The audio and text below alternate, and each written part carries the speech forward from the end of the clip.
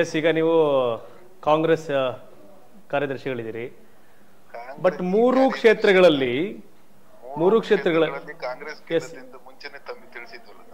ಮೂರು ಕ್ಷೇತ್ರಗಳು. ಈಗ ಸಂಡು ಸಂಡೂರು ಮತ್ತೆ ಶಿಗಾ ಶಿಗ್ಗಾವಿ ಇದೇ ರಿಸಲ್ಟ್ ಆಗತ್ತೆ ಅಂತೀರಾ? ನೂರಕ್ ನೂರು ಆಗುತ್ತೆ ಸರ್.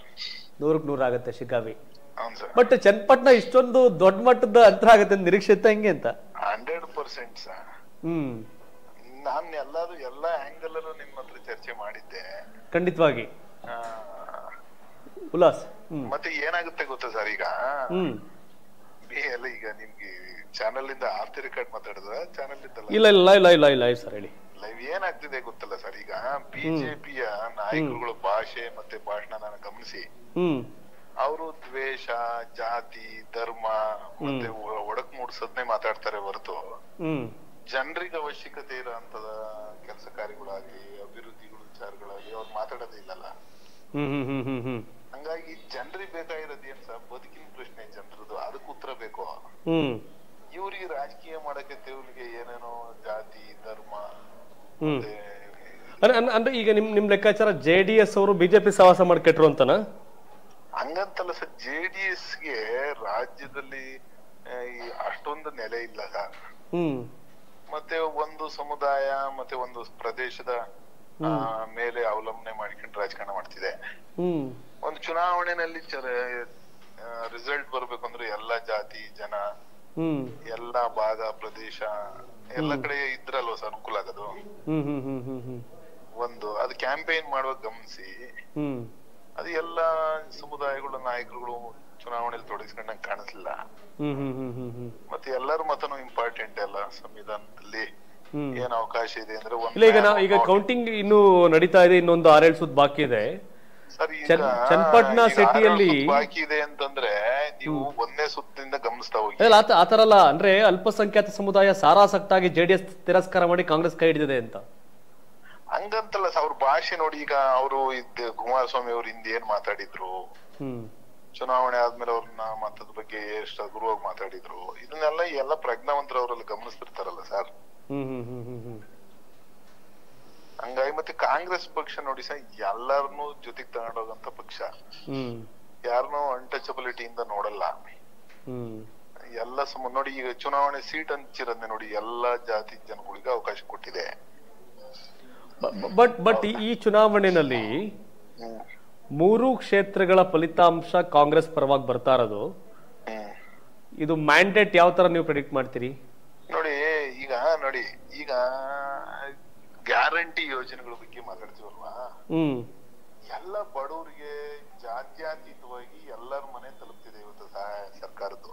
ಹ್ಮ್. ಅದ್ರ ಬಗ್ಗೆ ನೆಮ್ಮದಿಯಾಗಿ ಜನ ಖುಷಿಯಾಗಿದ್ದಾರೆ ಅದನ್ನ ಒಪ್ಕೊಂಡಿದ್ದಾರೆ ಅದನ್ನ ಸರ್ಕಾರನ ಬೆಂಬಲಿಸ್ತಿದ್ದಾರೆ ಕಾಂಗ್ರೆಸ್ ಪಕ್ಷನ ಬೆಂಬಲಿಸ್ತಿದ್ದಾರೆ ಅಂತ ಅರ್ಥ. ಈಗ ಅಭಿವೃದ್ಧಿ ಕಾಮಗಾರಿಗಳಿಗೆ ಹಿನ್ನಡೆ ಆಗಿದೆ ಹಾಗೆ ಹೀಗೆ ಅಂತ ಅಪಪ್ರಚಾರನ ವಿರೋಧ ಪಕ್ಷದವ್ರು ಮಾಡ್ತಾರೆ. ಗ್ಯಾರಂಟಿಯಿಂದಾಗಿ ಹಿಂಗಾಗಿದೆ ಅಂತ. ಆ ನನ್ ಪ್ರಕಾರ ಈಗ ಅಭಿವೃದ್ಧಿ ವಿರೋಧಿ ಧೋರಣೆಯಿಂದ ಹೇಳ್ತಾ ಇಲ್ಲ. ಅಭಿವೃದ್ಧಿ ಅಂದ್ರೆ ಏನು? ಸರ್ ಈಗ ಸಿಮೆಂಟ್ ಮತ್ತೆ ಟಾರು ಕಟ್ಟಡ ಕಟ್ಟೋದು ಅಭಿವೃದ್ಧಿ ಆದ್ರೆ ಜನರು ಬದುಕೇ ಬದಲಾಗ್ತಾ ಇಲ್ಲ ಅಂತಂದ್ರೆ ಬಿಲ್ಡಿಂಗ್ ಕಟ್ಕೊಂಡು ರೋಡ್ ಮಾಡಿ ಸಿಮೆಂಟ್ ಹಾಕಿ ಏನ್ ಉಪಯೋಗ? ಏನು ಪ್ರಯೋಜನ ಇಲ್ಲ ಬಟ್ ಈಗ ಇಲ್ಲಿ ನೋಡಿ ಅಲ್ಲ ಮಾಡಬಾರ್ದು ಅಂತ ಹೇಳ್ತಾ ಇಲ್ಲ ನಾನು ಹೇಳ್ತಿರೋದು. ಇಲ್ಲಿ ಬಡವರಿಗೆ ಅವ್ರ ಕಷ್ಟ ಸುಖಗಳಿಗೆ ಅವ್ರ ಎಂತ ಕನಸುಗಳಿಗೆ ನೇರವಾಗಿ ಅವ್ರ ಅಕೌಂಟ್ಗೆ ಸರ್ಕಾರ ಸಹಾಯ ತಲುಪ್ತಾ ಇರುವಾಗ ಈಗ ಹಿಂದೆಲ್ಲ ನೋಡಿ ಎಲ್ಲೋ ತಾಲೂಕಲ್ಲಿ ಹೋಬಳಿಲಿ ಅಲ್ಲಿ ಇಲ್ಲಿ ಕಾಂಟ್ರಾಕ್ಟ್ಗಳಿದ್ರು ಏನೋ ಅಭಿವೃದ್ಧಿ ಅಂತಂದ್ರೆ ಯಾರೋ ಚುನಾವಣೆಯಲ್ಲಿ ಗೆದ್ದರವರಿಗೆ ಒಂದಿಷ್ಟು ಏನೋ ಅದರಿಂದ ಪರ್ಸೆಂಟೇಜು ಮತ್ತೆ ಕಾಂಟ್ರಾಕ್ಟ್ಗಳಿಗೆ ಉಪಯೋಗ ಈ ತರದ್ ಒಂದು ಶಾಪನು ಜನ ಹಾಕ್ತಿದ್ರು. ನಮ್ಗೇನ್ ಉಪಯೋಗ? ದೊಡ್ಡ ದೊಡ್ಡ ಕಾಮಗಾರಿಗಳು ಮಾಡೋದ್ರಿಂದ ನಮ್ಗೇನ್ ಉಪಯೋಗ ಅನ್ನೋದನ್ನು ಮಾತಾಡ್ತಿದ್ರು. ಆದ್ರೆ ಇದು ಈಗ ಸರ್ಕಾರದ ಗ್ಯಾರಂಟಿ ಯೋಜನೆಯಿಂದ ನೇರ ಜನರಿಗೆ ಬೆನಿಫಿಟ್ ತಲುಪ್ತಿದೆಯಲ್ಲ? ಅಂದ್ರೆ ನೇರವಾಗಿ ಗ್ಯಾರಂಟಿ ಜನರಿಗೆ ತಲುಪಿರೋ ಕಾರಣ ಈ ತರದ ದೊಡ್ಡ ಮ್ಯಾಂಡೇಟ್ ಕಾರಣ ಆಗಿದೆ ಅಂತ ಹೇಳ್ತೀವಿ ಜನ ಬೆಂಬಲ ಇದು ವ್ಯಕ್ತ ಆಗ್ತಿರೋದು ನೋಡಿದ್ರೆ ಜನ ಗ್ಯಾರಂಟಿ ಯಾಕಂದ್ರೆ ಸಂಡೂರು ಬಿಡಿ ಅದು ಸಂತೋಷ್ ಲಾಡ್ ಅವ್ರ ಸಾಮ್ರಾಜ್ಯ ಅವರೇ ಕಾಂಗ್ರೆಸ್ನ ಈ ಮಟ್ಟಿಗೆ ಉಳಿಸ್ಲಿಕ್ಕೆ ಬೆಳಿಲಿಕ್ಕೆ ಕಾರಣ ಒಂದು. ಆದ್ರೆ ಭರತ್ ಬೊಮ್ಮಾಯಿ ಬೊಮ್ಮಾಯಿ ಅವ್ರ ಮಗ ಇನ್ನೊಂದ್ ಕಡೆ ಕುಮಾರಸ್ವಾಮಿ ಅವರು ರಾಜೀನಾಮೆ ತೆರವಾದಂತ ಚನ್ನಪಟ್ಟಣ ನಿಖಿಲ್ ಅವ್ರ ಸ್ಪರ್ಧೆ?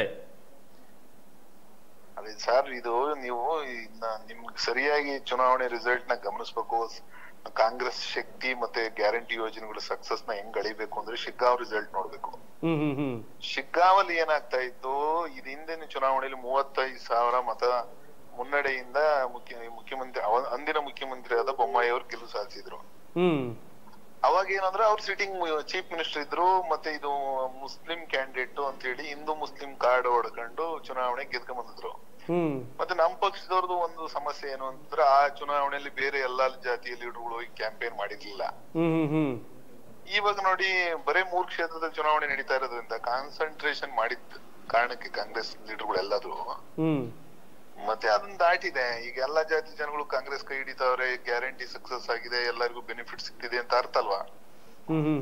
ಬಟ್ ಬಟ್ ಬಟ್ ಈ ಒಂದ್ ಮಾತಿದ್ದೇನೆ ಹೇಳ್ತೀರಾ ಡಿ ಬರೇ ಸಣ್ಣ ಪುಟ್ಟ ಮುನ್ನಡೆ ಅಲ್ಲ ಶಿಗ್ಗ ಮೂವತ್ತೈದು ಸಾವಿರನ ಹಿಂದಿಕ್ಕಿ ಮತ್ತೆ ಮುನ್ನಡೆ ಹೋಗ್ತಿದೆ ಅಂತಂದ್ರೆ ಬಿಜೆಪಿಯ ಮುಖಕ್ಕೆ ಮಂಗಳಾರತಿ ಅದು. ಹೌದು ಯಾಕಂದ್ರೆ ಮೂವತ್ತೈದು ಸಾವಿರ ಸೋತಿರೋ ಪಟಾಣ್ಯ ಲಾಸ್ಟ್ ಟೈಮ್ ಆ ಮೂವತ್ತೈದು ಸಾವಿರನ ಓವರ್ಲುಕ್ ಮಾಡಿ ಇನ್ನು ಮುನ್ನಡೆ ಹೋಗ್ತಿದೆ ಅಂದ್ರೆ ಎಷ್ಟು ಹಿನ್ನಡೆ ಬಿಜೆಪಿಗೆ? ಒಂದು. ಹ್ಮ್. ಆಮೇಲೆ ಅವ್ರು ಒಳ ಇದೈತಲ್ಲ ಕಿತ್ತಾಟ ಬಿಜೆಪಿ ನಾಯಕತ್ವದಲ್ಲಿ. ಅವ್ರು ಒಗ್ಗಟ್ಟಿಲ್ಲ ಒಂದು ವಿಜೇಂದ್ರ ಅವರ ನಾಯಕತ್ವನ ಒಪ್ಕೊಂಡಿಲ್ಲ. ಮತ್ತೆ ಅವ್ರು ಎಲ್ಲರನ್ನೂ ಒಟ್ಟಿಗೆ ತಗೊಂಡು ಹೋಗೋ ತರ ಲೀಡರ್ಶಿಪ್ ಕಾಣಿಸ್ಲಿಲ್ಲ. ಮತ್ತೆ ಇನ್ನೊಂದೇನು ಅಂತಂದ್ರೆ ಅವ್ರು ಎಲ್ಲಾ ಮುಖಂಡರು ನೋಡಿ. ಈಗ ಅವ್ರು ಕೆಲವರು ಬರೀ ಮತ್ತೆ ಕೋಮು ಭಾವನೆಗಳನ್ನ ಕೇಳಿಸದೆ ಭಾಷಣ ಮಾಡ್ಕೊಂಡೇ ಜೀವನ ಮಾಡ್ತಾರೆ ರಾಜಕಾರಣ ಅಂದ್ರೆ. ಅವ್ರ ಬಾಯಿ ಕೂಡ ಯಾವತ್ತು ಅಭಿವೃದ್ಧಿ ರಾಜಕಾರಣ ಮಾತಾಡಿದ್ ಕೇಳಲೇ ಇಲ್ಲ ಜನ. ಸಾಕಾಗಿದೆ. ಇದನ್ನಲ್ಲೇ ಜನರಲ್ ಎಲೆಕ್ಷನ್ಗೆ ತೋರಿಸಿದ್ರು ಅವ್ರಿಗೆ. ಅವ್ರು ಮತ್ತೆ ಅದನ್ನೇ ಮುಂದುವರಿಸ್ತಾವ್ರೆ. ಹಿಂಗೆ ಆದ್ರೆ ಪಕ್ಷದ ಅಸ್ತಿತ್ವಗಳೇ ಕಷ್ಟ ಮುಂದೆ.